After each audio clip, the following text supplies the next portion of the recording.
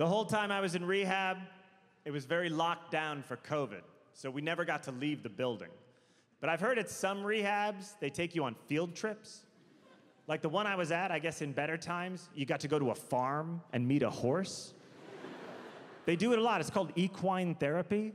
That sounds really nice. But how bad do you feel for that horse? It's born being like, one day I'm gonna win the Kentucky Derby.